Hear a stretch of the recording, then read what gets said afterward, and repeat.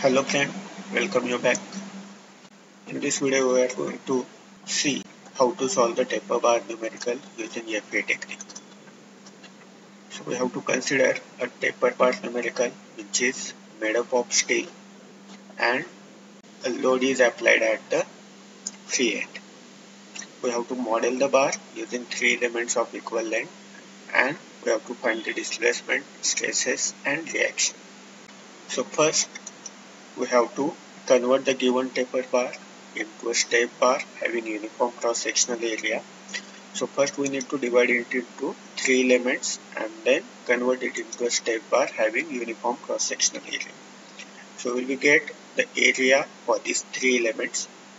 How to convert this taper bar into a step bar having uniform cross-sectional area? You need to watch my previous video then you can get the idea how to convert this taper bar into a step bar. You can find the link in the description. So after converting the taper bar into step bar, we have to find out the elemental stiffness matrix for each element. So as there are three elements, we have to write the nodal connectivity. So the element 1 is connected between node 1 and 2. Element 2 is connected in between node 2 and 3 and third element is connected in between node 3 and 4 and the first node is a fixed.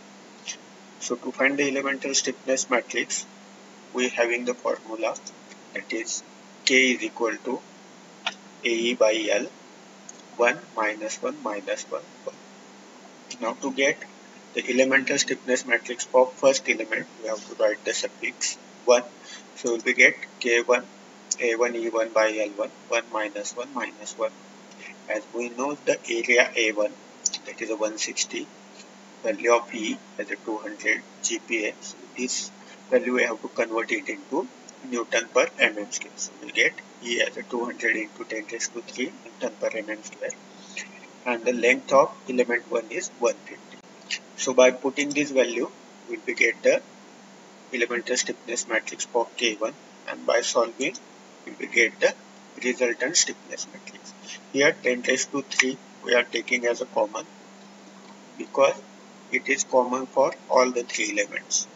Now same fashion we have to find the K2 that is A2 E2 by L2 1 minus 1 minus 1, 1 by putting the area of second element value of E and length value we will get the K2 and then resultant K2 matrix.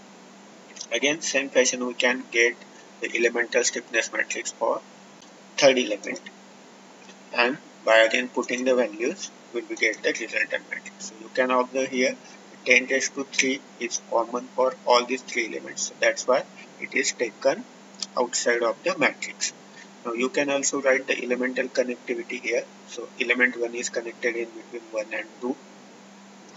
So you can write the connectivity for element 1 as a 1 2 1 now same fashion element 2 is connected in between node number 2 and 3 so you can write here 2 3 2 3 same fashion element number 3 is connected in between 3 and 4 so you can write here 3 4 and 3 4 this is important because when we are writing the global stiffness matrix, this connectivity is required to add this elemental stiffness. Now let's write the global stiffness matrix. Now we have already calculated the elemental stiffness matrix for three elements and also written the elemental connectivity. Now to get the global stiffness matrix, we have to add these three elemental stiffness that is K1 plus K2 plus K3 will be get as a K and we know that for this problem we are having three elements and there are four number of nodes. And for 1D problem each node having one degree of freedom per node. So the size of the global matrix will be get as a number of nodes into degrees of freedom per node. That is a 4 into 1 is equal to 4 so the size of the global stiffness matrix is 4 by 4 and to get the elements of this matrix we have to add these elements. Elements to get the global stiffness matrix. So the resultant global stiffness matrix will be get. Right?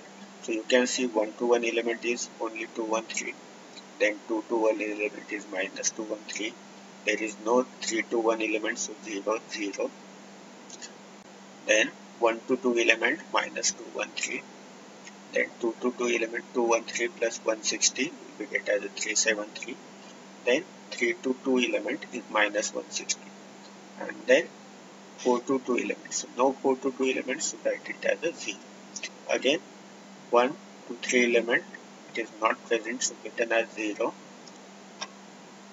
2 to 3 elements so here 2 to 3 element is minus 160 so it is written here.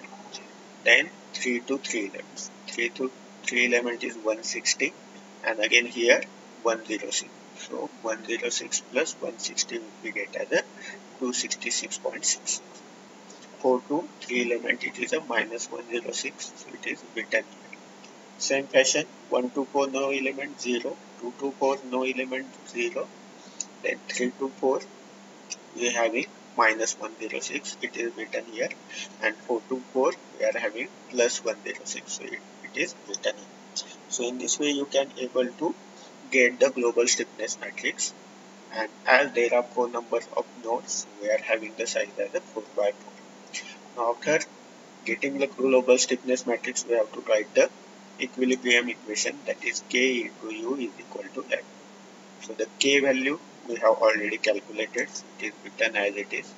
Then u that is a global displacement vector so as there are four elements we will get the size as 4 by 1 and we have to write the notation u1 u2 u3 and u4 so we'll be get and then we have to write force vector. So you can see for this problem there is no force at node 1 node 2 and node 3 only the force is applied at node 4 having value 100 kilonewton and as the node 1 is fixed so we will be get the reaction at this fixed support. So we have to write at first force as a reaction? Then 0 0 and this load we are going to convert it into a newton. So we'll be get as a 10 into 10 raised to 3 newton value. And now next step we have to find the displacement at each node. To get the displacement, we need to apply the elimination approach. And in elimination approach, as the node 1 is fixed, so we have to eliminate row 1 and column 1. So this row 1 and column 1 we have to eliminate and then the resulting matrix we need to solve. So after solving the remaining matrix using calculator or using Gauss elimination method you will get the displacement and again remember here don't forget to take this 10 raised to 3 value. As many students while solving the numerical are forget to take this 10 raised to 3 value which is taken outside of the matrix. Here also we have to write 10 raised to 3 value because it is a common one for all the three elements. Okay. So while solving this remaining matrix you have to consider the 10 raised to 3 and then you can able to solve using the matrix using the calculator or using Gauss elimination method. So after solving this we will get that is u2 as a displacement value as a 0.469 mm u3 value as a 1.094 mm and U4 value as a 2.031 mm and at U1 you will be get the value as a 0 because it is a fixed so no displacement will be occur at this location now we have to find the find the stresses in each element and the reaction at support so to find the stresses in element we are having the formula sigma is equal to E by L minus 1 1 into U1. so here for first element we have to write A by L minus 1 1. First element is connected in between node 1 and 2. So UN value we have to take as a U1 and U2. So by putting that values we will be get as a E value as a 200 into 10 raised to 3. Length is 150. U1 value is a 0 and U2 value we have already calculated as a 0.469. So by solving we will be get the stress in first element as a 625.1 Newton per mm. Same fashion we have to find the stress in element 2 and as element 2 is connected in between node 2 and 3 so we have to consider the un value as a u2 and u3. So putting the values and by solving we will get the stress in element 2 as 833.33 Newton per mm square. And same fashion you can find stress in element 3. Element 3 is connected in between node 3 and 4 so un value you have to consider as a u3 and u. So by putting the values and solving we will be get the stress in third element as a 1249.33 Newton per mm square. Now next step we have to find the reaction at the support. To find the reaction at support, we have to consider the equilibrium equation that is K into U is equal to F. And in this equilibrium equation, we have to consider the first row to get the reaction at support. So we have to consider this first row and also consider this 10 raised to 3 value. Don't forget to take the common or constant value which we have taken outside of the method. So considering this first equation will be get the resultant equation as a 213 u1 213.33 u1 minus 213.33 u2 into 10 raised to 3 is equal to r. And now we are having the u1 value as a 0 and u2 value as a 0.469. So putting this value, we will get the reaction at the support. And the reaction will be get as a minus 100 kilonewton. So as there is only one force is applied for this problem, so you can get the equal and opposite reaction. So as we get as a minus 100 kilonewton, which is equal and opposite to the applied force, means our solution is correct. In this way you are able to solve the taper bar numerical by converting it into a step bar, deflection, stresses and reaction easy. So thank you for watching. Have a nice day.